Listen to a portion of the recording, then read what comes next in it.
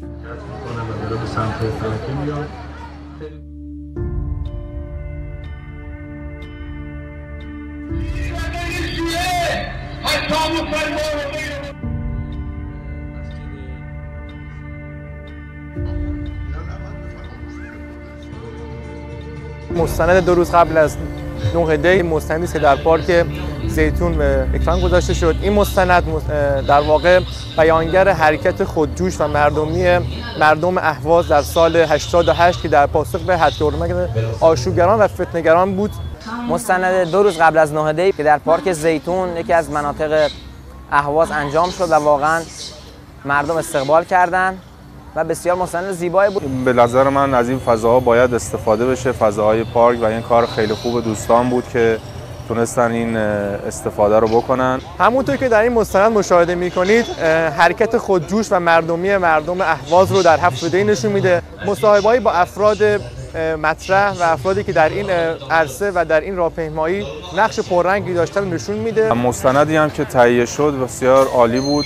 وطنم ای شکوه پا بر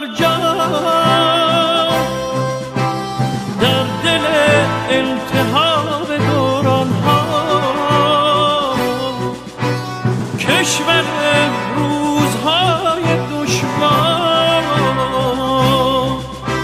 زخمی سربلند بحران ها